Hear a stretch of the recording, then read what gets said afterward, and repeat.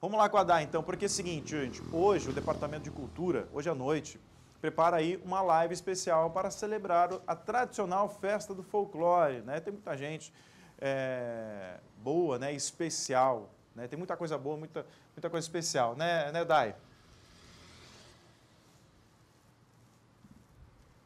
Isso mesmo, Rude. Essa festa do folclore é uma festa tradicional aqui em Três Lagoas e mesmo diante destas liberações, é, diante da redução de casos da Covid-19, o Departamento de Cultura, né, uma ordem da Prefeitura de Três Lagoas, preferiu fazer uma live. Essa live será transmitida na página do Facebook do Departamento de Cultura de Três Lagoas a partir das 19 horas. Será somente hoje, terá apresentações até mesmo com berrantes, os grupos de dança do, do núcleo do Departamento de Cultura. Então, muita apresentação, até mesmo daquela tradicional dança do boi bumbá. Então, a população tem, pode acompanhar aí no conforto da sua casa, se divertir é, com toda a família, né? E de forma segura, porque, de acordo com o Departamento de Cultura, se fosse abrir para toda a população, seria muito complicado é, para fazer esse controle da população. Como é uma festa aberta, né? Então as pessoas gostam, seria muito difícil fazer esse controle